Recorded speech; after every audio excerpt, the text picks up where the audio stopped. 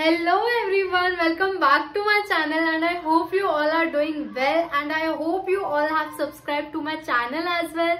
So yes, in today's video, I'm gonna tell you my go-to products or what products I usually carry when I'm going outside.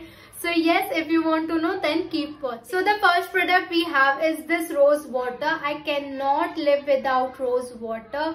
I need it whenever I'm going outside or after washing my face. I have a habit of spraying rose water all over my face after washing my face. So yes i cannot live without it. So the second product in my go-to list is this Re'equil under eye cream and this is how it looks. And after spraying rose water all over my face i need this cream for my under eyes. And its formula is too good and it has resulted in removing the dark circles as well like in reducing the dark circles as well earlier what I used to do is the moisturizer which I am applying on my skin I used to apply that moisturizer only for my under eyes and that was completely okay. But when I switched to this cream so it has resulted in reducing the dark circle which was plus point for me because that moisturizer was not giving me the result so the next product we have is this aloe vera gel. It's patanjali aloe vera gel and I am using this product from past 4 to 5 years. So it has become my go-to product. And the minus point is like it doesn't mention its ingredients so I don't know what I'm applying on my face which is minus point. But it is giving me the hydration I want the glow I want. And in winters also my skin never feels dry. It's not oily. Like my skin is not oily then too in winters my skin never feels dry that's why I haven't switched it yet but let's see whether I will switch it or not because it is giving me the results. So the next product in my go-to list is this Colorbar Primer and it is silicone based primer and I use it for my pores. I have little little pores on my nose and around my nose so yes it's my go-to product. So the next product in my go-to list is these two concealers. The first one is Swiss Beauty one and the second one is Milani one. And these two concealers are too good like its blendability, its application, its formula, everything is too good. But the minus point in the Swiss Beauty one is it's oxidized. So i don't mind it because it is in the shade 03 which is little light for me. So if it oxidize it will become my shade. So it's totally okay with me.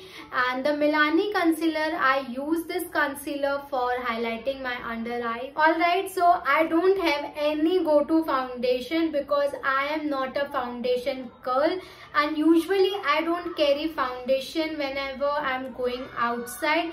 How I love to do my makeup whenever I'm going outside is to conceal my under eyes and wherever I have pigmentation I conceal that also. And after that I use the lighter concealer to highlight my under eyes and then I go to the further steps.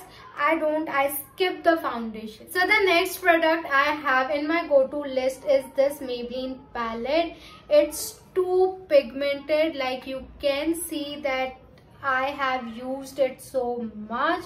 So it is my go-to contour, blush and highlighting palette. So yes, the next product I have in my go-to list is for my brows and it's NYX mascara. This is how it looks and it's my go-to product like whenever i'm feeling lazy i directly jump to this step and i skip the pomade step. Like in today's look also I have used this mascara only. And whenever I'm going outside I don't love to carry too much product. So the next product I have is for my lashes. And I have these two mascaras and I am loving it. This one is from Too Faced and this one is from Smashbox. And whenever I want my lashes to have a volume I use this one. And whenever I want my lashes to be separated I use this one. And whenever I'm using false lashes I always go for this mascara. And whenever I'm not using false lashes I go for either this or this. Then I have these two lipsticks in my go-to list. This one is from Miss Rose and this one is from Love Earth and these two lipsticks are too good. Like whenever I want my lips to be nude, I use this one and whenever I want a little dark lips, then I go for this one but for the lipstick it totally depends that which look i'm going to create what i'm going to wear.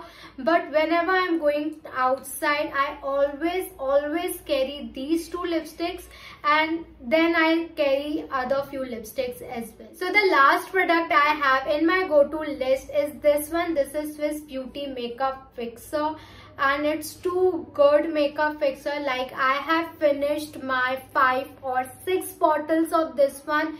It's too good in a budget. So you should give a try at least once. I hope you all guys have enjoyed this video. So please do like share and comment.